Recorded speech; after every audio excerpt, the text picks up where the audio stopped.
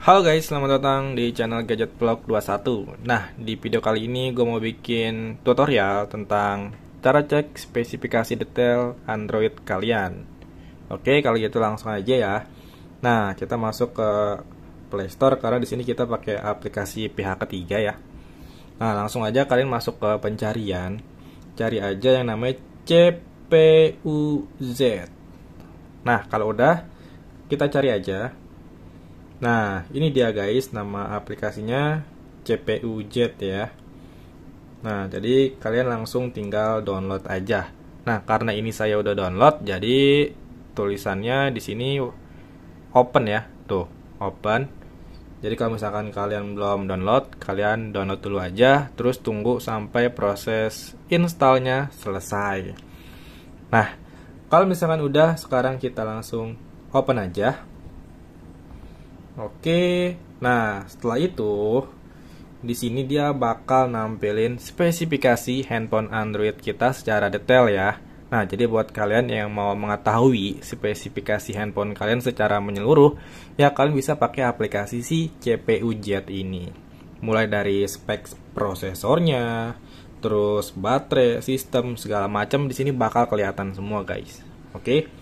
Nah, di sini kelihatan tuh prosesornya. Di sini handphone saya pakai Qualcomm Snapdragon 732G. Oke, terus di sini core-nya kelihatan. Terus mulai dari prosesnya. Oke, jadi detailnya kelihatan. Terus modelnya, terus ada revision proses, clock speed. Terus di sini device-nya. Nah, ini nama model handphonenya ya. Xiaomi Poco terus screen size-nya 6,6 inch screen resolution-nya 1080 kali 2400 pixel. Terus ada screen density-nya oke? Okay? lengkap lah. Nah ini untuk spek sistemnya ya. Ini tuh. Ada API level Android version Android 12 terus baterai ya. Informasi baterai ini baterai healthnya masih good levelnya 60% maksudnya ini level baterai sekarang tuh kapasitasnya masih 60% terus statusnya terus teknologinya pakai baterai apa temperaturnya terus untuk thermal ya ini kayak gini lah. Terus sensor di sini kalian bisa lihat sensor sensornya ya. Sensor fingerprint atau sensor yang di earpiece